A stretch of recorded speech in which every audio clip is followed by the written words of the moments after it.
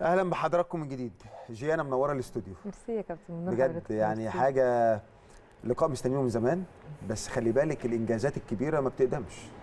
الحمد لله. يعني أنا مبسوطة طبعا إن أنا معاكم في قناة الأهلي بيتي التاني وطبعا مبسوطة إن أنا مع حضرتك. أنا يعني برنامج الأبطال ده بالنسبة لي حضرتك عارف هو عزيز عليا قد. إيه وطبعا متشرفه جدا بوجودي مع حضرتك. طيب خلينا نتكلم عن آه، البداية. يمكن قبل الأولمبياد قابلتك مشاكل كتير يمكن أنت كنت معانا قبل- الأولمبياد والحمد لله رب وشنا كان حلو عليكي. الحمد لله. آه، كان أكيد قبلك صعوبات كتير. أنا دايما بحب يعني أظهر الصعوبات عشان نشوف حجم الإنجاز. أبرز هذه الصعوبات اللي قابلتك قبل الأولمبياد كانت إيه؟ والله يعني أنا مهما قعدت أحكي للناس حجم الضغوطات والصعوبات اللي هي اللاعب بيواجهها قبل أي ايفنت كبير بالذات حاجة زي الأولمبياد الناس طبعا مش هتبقى متخيلة غير لو عاشت صحيح. الكلام ده. بس ممكن أقدر أقول إن أبرز الحاجات آه، الإصابات.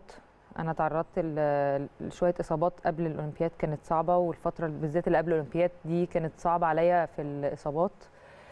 آه، فكنت بضطر إن أنا آخد من وقت النوم اللي أنا المفروض أنامه علشان خاطر أعمل جلسات العلاج الطبيعي. يا خبر أبيض. فطبعا الموضوع كان بيبقى بالنسبة لي مجهد طبعاً. جدا.